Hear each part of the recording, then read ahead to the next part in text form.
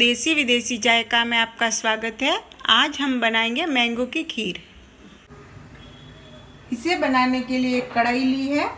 इसमें मैं आधा लीटर दूध ट्रांसफ़र करूँगी।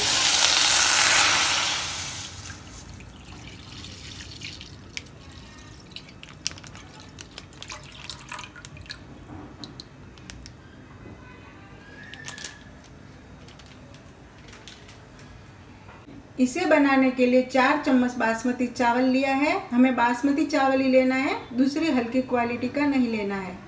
चावल को दो तीन पानी से अच्छे से धो के मैंने दो घंटे के लिए इसे भिगो के रखा था। चावल हमारे अच्छे से फूल गए हैं। अब हम इन चावल को दूध में ट्रांसफ़र करेंगे।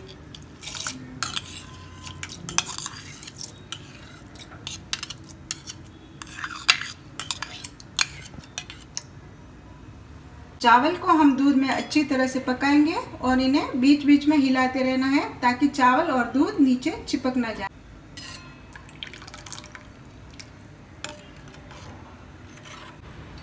चावलों को 10 से 15 मिनट तक मीडियम आँच पे अच्छे से पकाना है।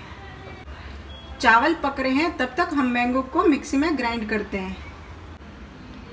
एक मैंगो लिया था, इसे छोटे छोटे पीस में कट कर दिया है। अभी हम इसे ग्राइंड करेंगे।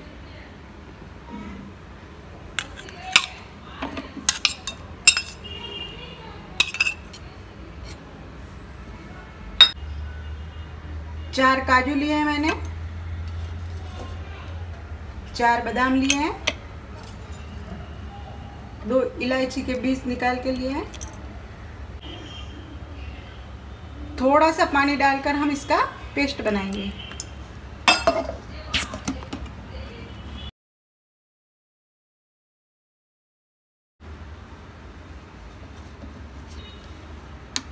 इस तरह का हमें पेस्ट बनाना है।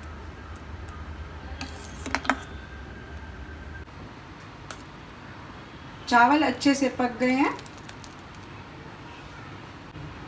अब मैंगो प्यूरी को इसमें ऐड करेंगे।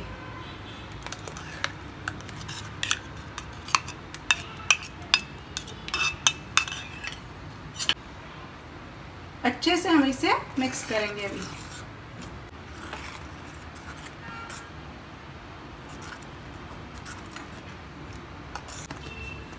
दो चम्मच शक्कर ऐड करेंगे, आप अपने टेस्ट के हिसाब से ले सकते हैं।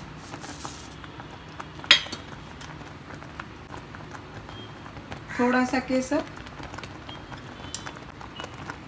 अभी हमें इसे दो से तीन मिनट तक अच्छे से पकाना है।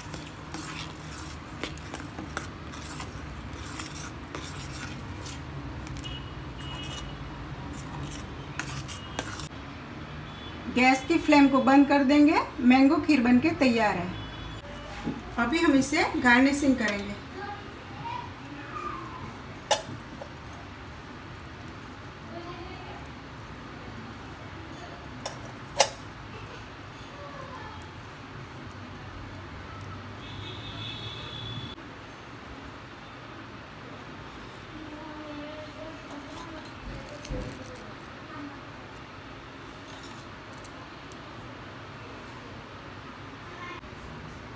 अभी हम इसे दो घंटे के लिए फ्रिज में रखेंगे और ठंडा ठंडा सर्व करेंगे।